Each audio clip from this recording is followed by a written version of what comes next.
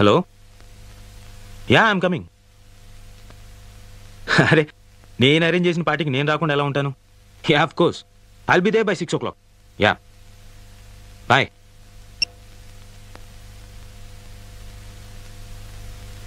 నా పేరు అభి. Abhiram. Software engineer. ఎనభై వేల జీతం. ఎంతో కష్టపడి పైకొచ్చాను. ఇంకా కష్టపడాలి. కంపెనీలో మంచి పేరు సంపాదించాలి. ఈరోజు జరిగిన మీటింగ్లో ఎండి గారి దగ్గర కాస్త ఇంప్రెషన్ కొట్టేశాను. అందుకే గ్రాండ్ కాకతీయలో పార్టీ అరేంజ్ చేశాను. ఎండి గారు వస్తారు.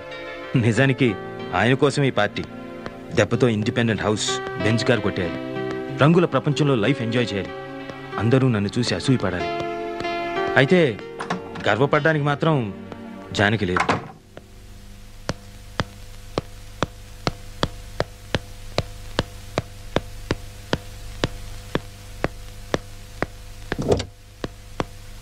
వెళ్ళండి అవి పార్టీ బాగా అరేంజ్ చేసావు.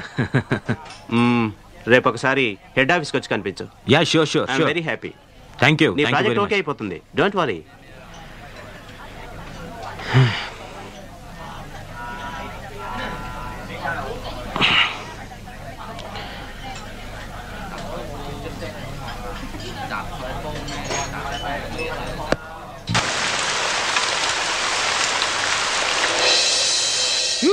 success promotion guarantee. Abhi you got it రే. కలిసే నయా జిందగీ షురు ఈ డొక్కు గారు అవతల పారేసి బెంజ్ గారికి లోన్ అప్లై చేయాలి. అయితే కాంపిటీషన్ వినిపించిందా ఏంటి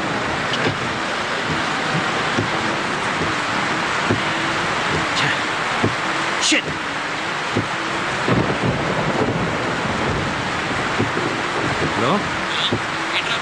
రే ఇక్కడ వర్షంలో నా కార్ ఆగిపోయింది. నువ్వు హలో? Hello hello hello. అచ్చా ఇప్పుడే బ్యాటరీ అయిపోవాలా? చెడు ఫోన్ మార్చేయాలి ఇప్పుడు ఇంటికి ఎలా వెళ్దాం? ఏరియాలో ఉన్నాను కూడా తెలియదే వచ్చా ఛా.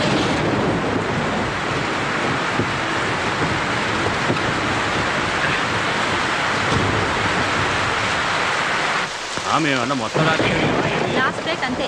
ఇంకో మాట చెప్పు. ఒక మాట రెండు మాటలు చెప్పడానికి ఇది వేలం పాట కాదు రైతు బజారు కాదు. ఇష్టమైతే రండి లేకపోతే వెళ్ళండి. ఏంటి ఎదో బేరం? నాతోనే ఇలా కానీ ఓ నాకు కావాల్సినంత మంది ఫ్రెండ్స్ ఉన్నారు. నీకు బోలెడు బిజినెస్ ఇప్పిస్తాను. నా మాట నమ్ము.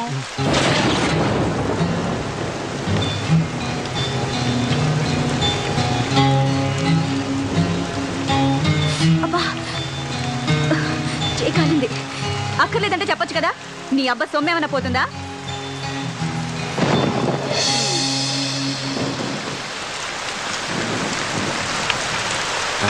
ఆ అమ్మాయి ఎవరు? బాగుంది.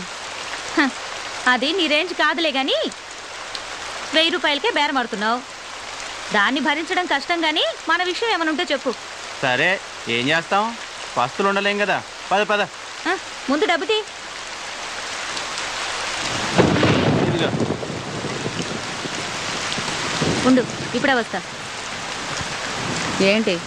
కుదిరిందా? ఆ గీసి గీసి వెయ్యి కుదిరింది. ఏంటి ఇద్దరికినా? లేదులే ఒక్కరికే. మరి నీ సంగతి ఏంటి ఇంకా కాలేదు. కాసేపు ఆగాలి. నా సంగతి నేను చూసుకుంటా నువ్వు వెళ్ళి నీ పని చూసుకో.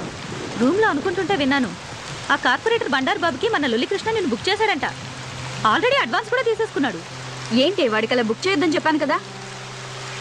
ఎందుకు? డబ్బులు బాగానే ఇస్తాడుగా? రోగం కూడా ఇస్తాడు.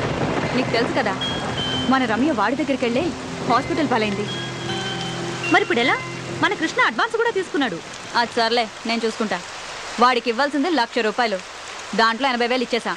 మిగతా ఇరవై వేల కోసం నా కొడుకు దగ్గర పంపిస్తున్నాడు.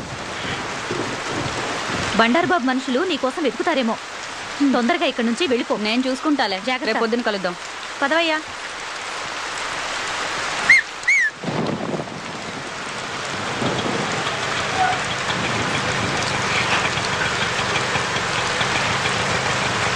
ఆటో ఏ ఏ, ఆటో ఇడియా వినపడదా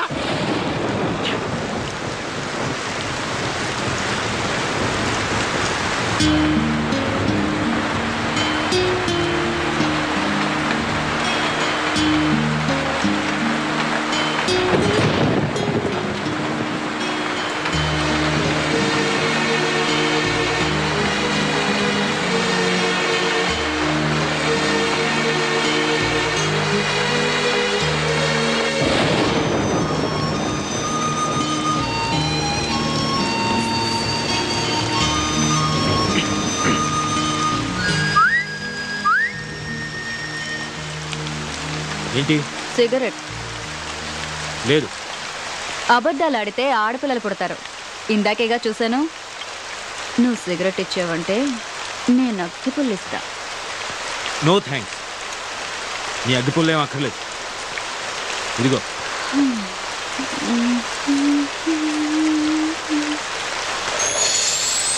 రెండు తీసుకున్నాను.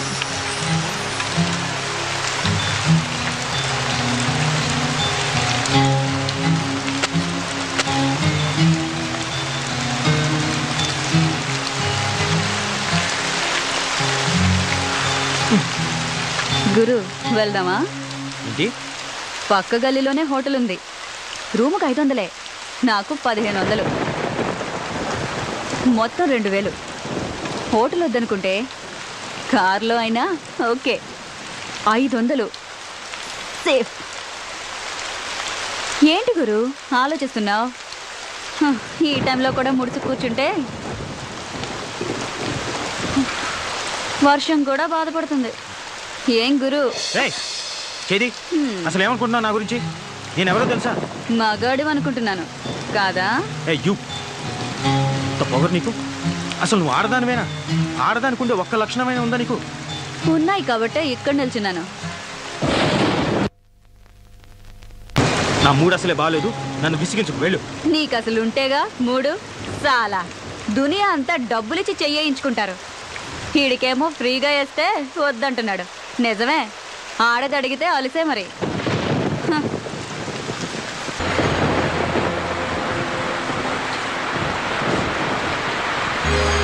హలో నిన్నే. మళ్ళీ ఏమొచ్చింది? ఈ టైంలో వచ్చేదే. నీకెలాగో రాదు కానీ కనీసం టైం అయినా చెప్తావా? పదకొండున్నర. పదకొండున్నరా? బాప్ రే బాప్. సిటీలో మగాళ్ళంతా ఏమైపోయారు? వర్షానికి ఒక్క బేవర్స్ గడు కూడా రావట్లేదు. ఉన్నోడేమో ఏమీ చేయట్లేదు.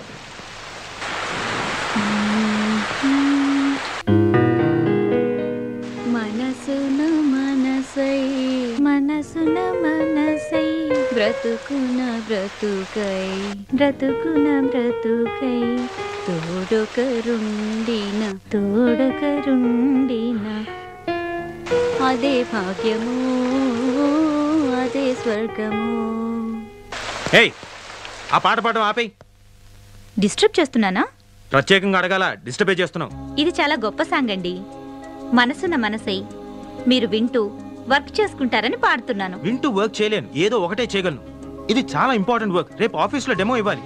ఇదిగో నువ్వు ఆ పిచ్చి పెట్టలు మానేసి వెళ్ళి పడుకో. ఎందుకు రాపాలి ఇదిగో మర్యాదగా చెప్తున్నాను.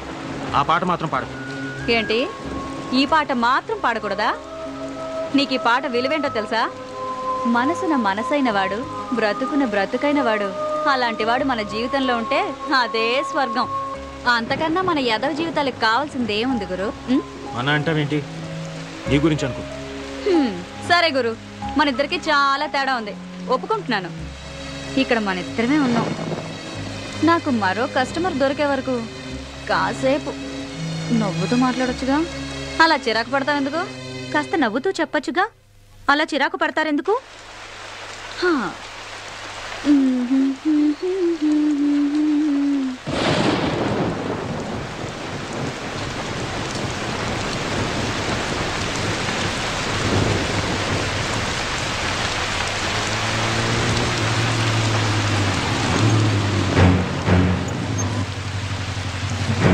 సార్ జాగ్రత్త.